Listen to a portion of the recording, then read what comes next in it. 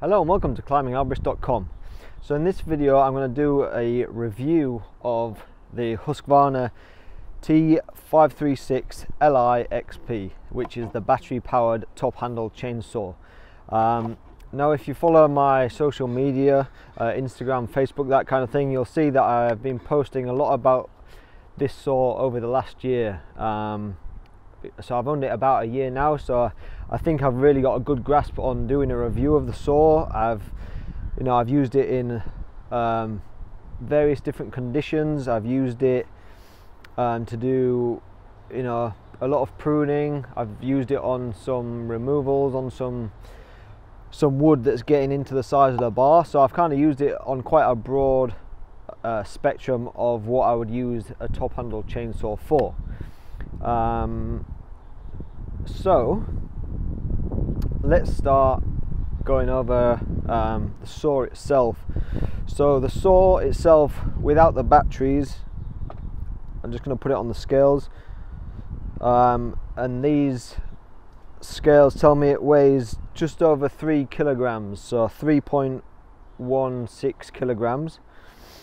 Um, then you've got a choice of batteries now, I have both the BLI 200 battery and the BLI 300 battery. Now, the 200 battery has 5.2 amp hours, and the BLI 300 battery has 9.4 amp hours. So there's a there's quite a lot of difference in amp hours, but there's also quite a lot of difference in weight here. Um, the 300 is a lot heavier and it's actually quite a lot more expensive as well. So over the last year, I've figured. So I, when I first bought the saw, I kind of felt the weight of them, put them in the saw, felt the weight of the saw, and thought I definitely want the 200 because it it makes the saw lighter. It makes it actually feel balanced. Whereas you put the 300 battery in it, and it just feels really kind of tail heavy. So but then I ended up buying the 300 battery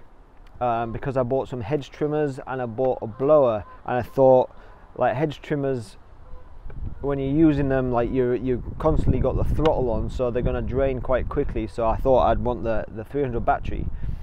Now having used them for quite a while every time I I go to the 200 battery first so I have two of these 200 batteries and I always always use the 200 because even in a hedge trimmer um, you know you want it as light as possible with the blower. I want it as light as possible. And because I have two batteries what I do is I take the charger with me to any job site and I plug it uh, I plug one of the batteries in at the client's house while I'm using the saw if if the battery is not already fully charged. So there's always a battery on charge um, so I've never I never find that I run out of power. So even having the the 200 battery with the the, the lower amp hours I never run out because there's one always charging and like it took me a while to figure out I could actually take the charger with me to the client's house. But once I figured that out you know it doesn't matter if you've forgotten to charge it the night before because you've got the charger with you. So um, so personally, I so I have two of the 300 batteries, which I hardly ever use. They're a bit of a backup, um, but I think they're almost hundred Canadian dollars more expensive than the 200 battery. So if I were you and you're thinking about buying one of these saws, go for the 200 because it it's just it's lighter, so nicer to use. Um, and if you've got them on charge, you know it, it it doesn't really matter. Um, so I'll I'll show the weight difference. So the the 200 battery weighs 1.3 kilos, and the 300 battery weighs nearly two kilos. So there's a there's a pretty good difference in in weight there. Probably like 40% heavier is the 300 battery. Right let's get to the saw. Um, let's start with the cons first. So, compared to a gas powered saw, your gas um, or petrol if you're English. Um, the one of the biggest differences is uh, doing plunge cuts. For whatever reason, the way that the electric motor works, you can't really do a plunge cut with the battery powered saw. Um, you also can't you can't really feather the throttle like you can do on a on a on a petrol two-stroke chainsaw. Um, the throttle, you know, if you hold it in different positions, like full throttle, half throttle, whatever, it, you can definitely get slower chain speed, but it's not the same as a gas-powered saw. So um, those are, I mean, I wouldn't say, maybe that's not a con. Yeah, it probably is because feathering the throttle sometimes is, is pretty nice, uh, especially because we're all used to using petrol two-stroke chainsaws. So, um, but I wouldn't say that it really makes that much difference. The plunge cut, maybe, um, but then again, you're going to choose the battery saw for specific jobs. Um,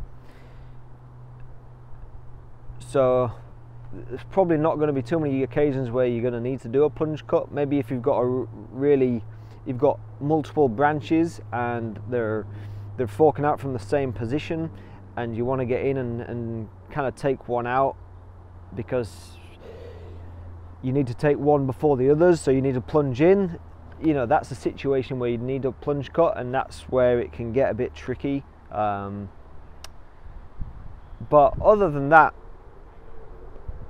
I can't really see the downside to this. Uh, I will mention one thing is that when I bought this saw, a lot of people told me you don't use it in the rain, um, which if you know where I live, I'm in the Pacific Northwest. I live in Vancouver, uh, BC, and it does rain an awful lot here.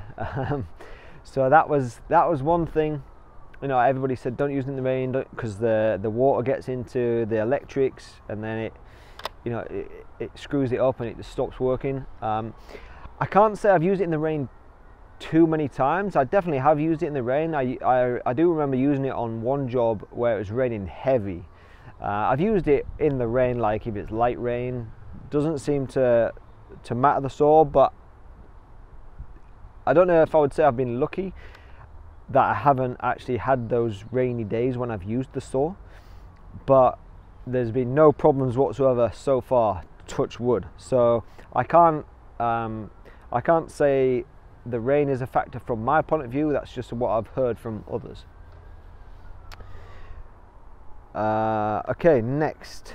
So yeah, let's move on to the pros because there's many, many pros to this saw. Um, I think those are the only cons I can think of, but pros there are a lot. So I use this saw pretty much on a daily basis when I'm working. Um, whenever I'm in the canopy, I'm using this saw a lot of the time for if I'm pruning, you know, if I'm pruning stuff bigger than what you would want to be using your handsaw for. Um, so maybe like above, if I know I'm making a lot of cuts above like three inches, I'll, I'll definitely have this saw with me and use it for pruning. I'll do a lot of removals with this saw, like removing the branches, because where where I am based, um, there's a lot of coniferous trees, so we're quite often taking down western red cedar, Douglas fir, uh, some spruce, that kind of thing. So even if you're taking down a large tree, like really mature Douglas fir tree, the branches aren't ever going to be that big really so you can strip off all the branches with this saw then get to take the top out um, and once you get down to you know like 8 to 10 inches then that's where I'm going to uh, switch out saws. Uh, it, it's going to be different when you're doing a removal on on a broadleaf tree. So say like a big mature oak tree where yes you're taking off the branches but it has like big stems that you need to take back at the same time then then you're going to have to decide weigh up the the benefits of taking you know a um, petrol two-stroke chainsaw like a 200 201T. Um, and let's let's say uh, I'll, I'll backtrack a little bit. This um, if you're comparing this saw, it's not a direct comparison to like a MS200, MS201, the uh, Husqvarna um, T540. It's not a it's not a direct comparison to those saws because those have got way more power and you can cut down larger pieces of wood um, a lot easier. This you you you could compare it to like a MS150, um, that kind of a, a small saw because the 150 is really nice and light, pretty much similar weight as this. Um, the MS150, if you get a, a standard, it's not got too much power to be blocking down wood. So, so this is, you know, very similar, equivalent. Um, but where I, you know, if you've if you've got a choice of using a 200 or or this saw, and all you're doing is removing small branches, um, maybe you're stripping off, like I say, like a, a, a coniferous tree, stripping off the branches. This is way more beneficial than using a larger top-handled saw because you just don't you don't have that weight like this. You don't even notice you carrying it on your harness really. Whereas um, the larger top handle chainsaws are actually quite a bit heavier. So the weight is is one of the big factors. Obviously, the noise. Um, noise is a huge thing. I still wear my earmuffs when I use this because you still have the noise of the chain whizzing round, and for me, that just that kind of certain frequency, a certain pitch, that sound, I don't want to hear it without my earmuffs on. So I still wear earmuffs, but you've got a lot le- a lot less noise.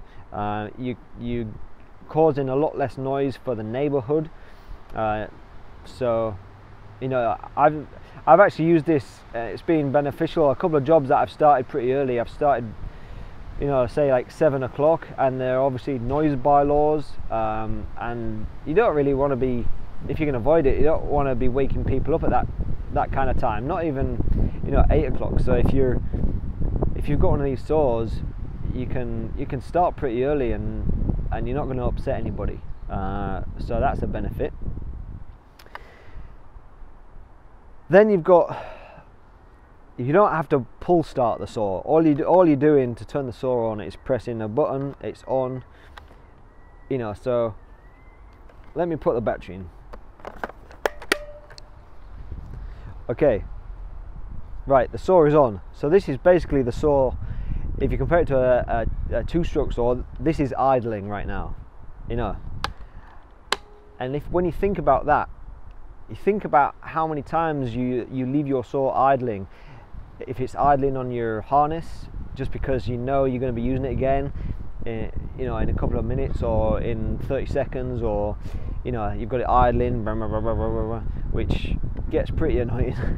um, if you if, if you're using the saw, I I sometimes use this saw. Say say if I'm chipping up and I know I've got a small chipper, so I need to um, remove some of the the branches where where they fork and that kind of thing. And if I was using a um, two-stroke chainsaw, sometimes I would leave a chainsaw down near the pile of brush, and it'd there be there like skipping a skipping along the pavement, idling. Um, this you don't have that, so that, that that's a benefit as well. Um, and like I say, this is uh, this is idling now, as I like to say. Obviously, it's not idling, um, and there's no there's no pull start on this. So a lot of people might not even think of that when you're thinking about benefits. But as soon as you start using this saw, you'll realise, man, I'm not I'm not having to pull start a saw like I don't know how many times you would do it when you're doing a removal, um, especially if you're really conscious of cutting the saw off so you're not leaving it idling. You maybe pull starting the saw like 200 times. I I, that's just a wild number I came up with from nowhere. I don't, but yeah, let's, let's say 200 times. Like doing that motion a couple of hundred times a day. It's just one. It's well, you don't think about it until you've used one of these saws, but one, it's actually irritating um, you know repetitive strain, I suppose. Um, and then, so if you don't want to keep pull starting your saw all the time, then you leave it, leaving it, leaving it idling. So this just it's obvious that the benefits are there when when you you, know, you look at those two options. Um, the next thing is because you're not using fuel, you're not get you're not breathing in those those fumes, those two-stroke fumes. Now, I haven't noticed it particularly myself, and I don't know if that's because I'm uh, I'm just not that aware and that in tune with my body. But a lot of people have said when they breathe in two-stroke fumes that you know it makes them feel a bit funny, uh, especially by the end of the day. Like they're mentally they're a little bit they're not quite with it, and and I, I do believe there is some data um, showing this if you if you search online. So breathing in two-stroke fumes, um, this just eliminates that. So there's none of that. Which once you've used the saw again, you realise that is a huge benefit. Probably the biggest thing that I never thought about with all the battery powered tools that I own is the lack of vibration. There's there's almost zero vibration on this saw. The only vibrations you you get are from the chain cutting through the wood, so it causes a little bit of vibration. But once you've used any of the battery tools, you realise that most of the vibration on gas powered saws is coming from the engine itself, uh, and it's not not that much of it is coming from the actual cutting of the piece. So in an industry where we're using tools that cause vibrations all day, every day, using a tool that cuts down those vibrations by about 90 95% is is a huge benefit um, huge huge benefit and it it makes such a difference that now when I go back and use like a a medium sized chainsaw um, I really notice the vibrations way more than I ever did before. So vibrations are a huge one.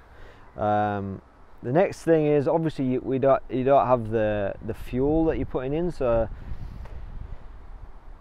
and if you're using your client's electricity to charge your batteries then there's the cost saving there because um, you know you'd think you're saving money on on fuel but then you're still paying to charge it with electric. So I, I imagine that's cheaper, but I don't know quite where the what the cost saving is. But if you're charging at your client's house, then um, then it's free basically. And it's funny. Um, there's been a few times, well, quite yeah, quite a number of times in my career where the client has said to me, "Oh, do you need uh, do you need power? Do you need power?" And I always think, what a ridiculous question. I'm not using like electric power tools. Um, but then the last time somebody said that to me, I was like, oh yeah, actually, I do need power. Uh, thank you very much.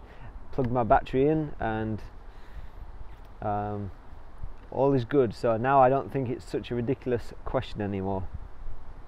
Another um, another benefit to the saw is you've just got less maintenance. Um, there's no spark plug that you that you need to change from time to time. There's no there's no carburetor and no fuel lines that are gonna break.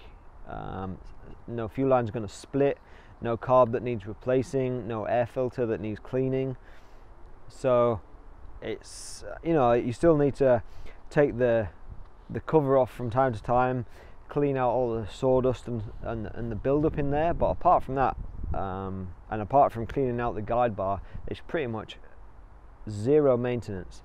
One thing I will say is that make sure the chain is always like really really sharp because because you're using battery power um, you really notice that the you really notice if you've got a, like a slightly dull chain slight, slightly blunt chain that it really does have an effect. Like because on a petrol chainsaw you you kind of um, you let the engine take up the slack a little bit if you've been if you've been slack on sharpening your saw or if it's you know lost its edge or something. So always make sure that it's tip-top condition um, really sharp chain. But I suppose that that should be said for any professional arborist. You should always make sure your chain is nice and sharp.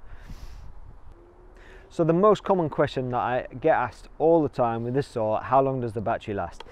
And it is uh, kind of a silly question it's like asking how long is a piece of string it's you know, there's no there's no answer. I can't say, oh, the battery lasts one hour or the battery lasts five hours. It depends on what you're doing. Depends on the how many you know the, the type of wood you're cutting into, uh, the density of the wood, the size of the wood, everything like that. Uh, what I can say is that if I'm doing some kind of pruning or even removal where the branches are like you know three, four, five, six inches, I've done I've done removals with this where the battery's lasted all day um, until I'm going to switch out my saw. So I think the, the battery life is brilliant on this. The, to say that a battery can power a saw like this that can do the, the job that you need to do while in the canopy is absolutely fantastic. Um, where the battery is really going to start getting drained is when you start cutting into larger wood. Um, and when I say larger wood, I'm probably talking probably talking about maybe seven inches and above. You start so I've done a few removals with this, done a few small, medium-sized removals, and I made a video on doing a, a, a cherry tree removal that had, I think, four stems, if I if my memory serves me correctly. And as soon as you start piecing down, cutting into the wood, um, if it's dense wood like cherry and if the cuts are, you know, like seven inches or above, um, it, it really starts to drain the battery down. So there's no right answer to how long the battery lasts, but it, is fantastic for pruning, doing smaller cuts. As soon as you start making bigger cuts over and over again, the battery is going to drain pretty quick. Um, so to summarize, this saw is absolutely fantastic and I, like I say, I use it on a daily basis. If uh, if it was rubbish, I wouldn't be using it so often and um, I recommend it to everybody I speak to, all of my friends. I say you got to get one of these saws. Um, price wise, it's fairly pricey when you first start out because you have to buy the saw, um, with which which you know it doesn't come with the batteries so the cost of the saw is probably similar to the cost of uh, a comparable uh, two-stroke saw but then you have to buy the batteries and the charger so the battery you know it's pretty expensive and then the charger too but if you if you're going to go down the route that I've gone down and buy quite a few of the battery powered tools um, you you know then you start only having to buy the bodies of each power tool and so it it, it works out I don't I wouldn't say cheaper but it, it it's not like you're having to buy batteries and chargers with every single power tool you buy so um, I think this is an absolutely fantastic tool um, hopefully I've covered everything um, I'm I, I'm sure that I haven't covered all your questions um, but this is a brilliant tool and I'll be using it every day until it breaks. Thanks for watching. Don't, don't forget to subscribe to the YouTube channel, um, uh, put a comment in the, in the box below and um, thanks for watching, much appreciated. See you on the next one.